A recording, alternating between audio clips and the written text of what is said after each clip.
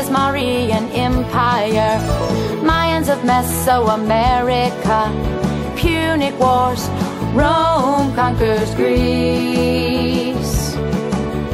Roman dictator Julius Caesar, Caesar Augustus, and the Pax Romana, John the Baptist, Jesus